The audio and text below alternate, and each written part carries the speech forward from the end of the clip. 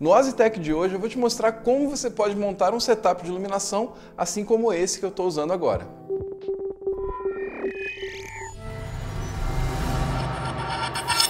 E aí, tudo bem? Aqui é Maurício, seja bem-vindo a mais um Ozitech. Hoje eu quero falar sobre luz, né, que é uma das coisas que as pessoas mais pedem para ver aqui no canal da Ozi.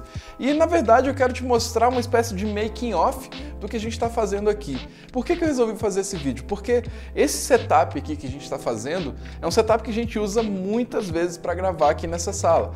Basicamente a gente tem um fundo preto e a gente fica tentando sempre inventar uma novidade aqui para dar um volume, para criar uma perspectiva um pouco diferente.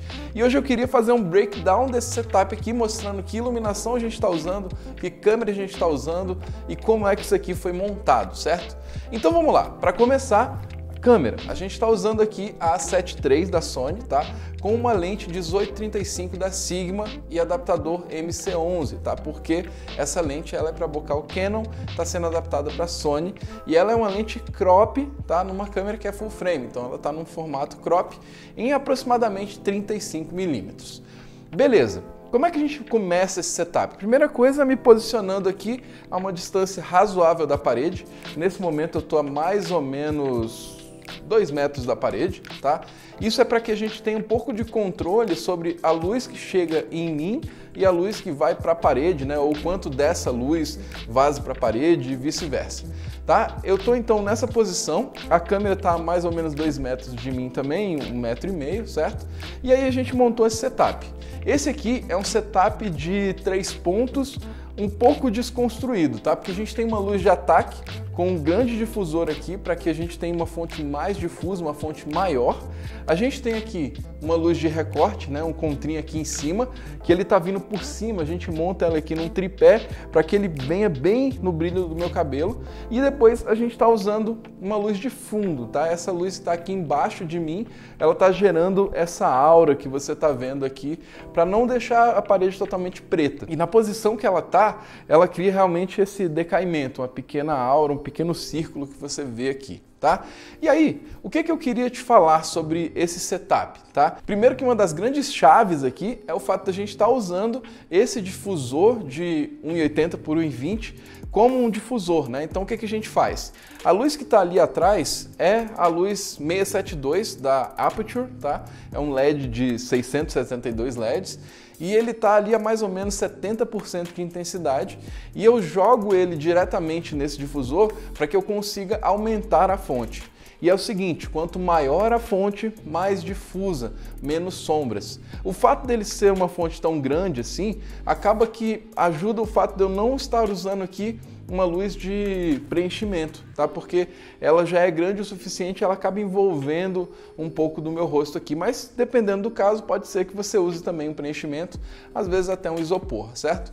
Aqui em cima, a gente está usando um LEDzinho 198C, tá? Também da Aperture Amaran, tá? E com essa ideia aqui do, do, braço de efeito que entra aqui, tá? E depois vocês vão ver esses detalhes aqui. E ele faz essa luz de cabelo aqui que me ajuda também a separar do fundo.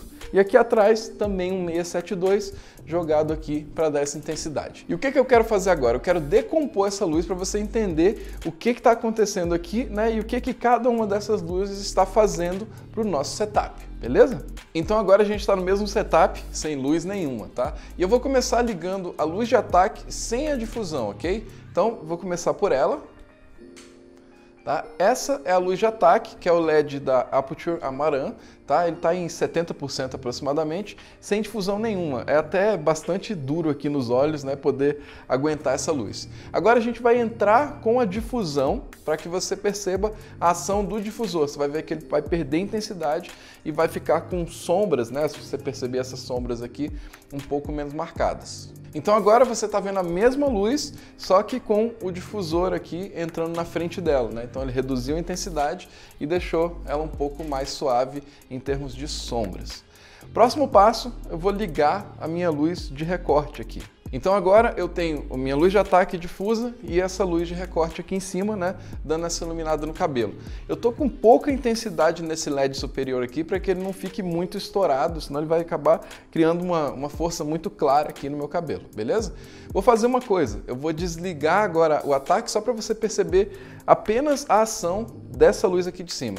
Então o que você está vendo agora é somente a luz de recorte, percebendo também o quanto ela age no fundo, nos meus ombros e na parede. Vou ligar de novo e aí a gente vai para a luz de fundo para a gente mostrar esse, essa luz que cria essa aura aqui no fundo. E aí nosso setup está pronto com essa luz de fundo.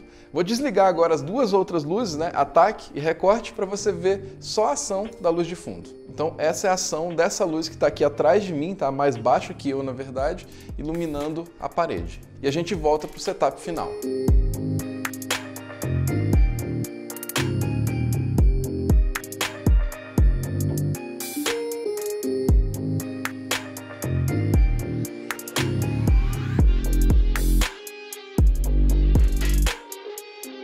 Então é isso, um setup completo com três luzes que você pode experimentar com facilidade aí.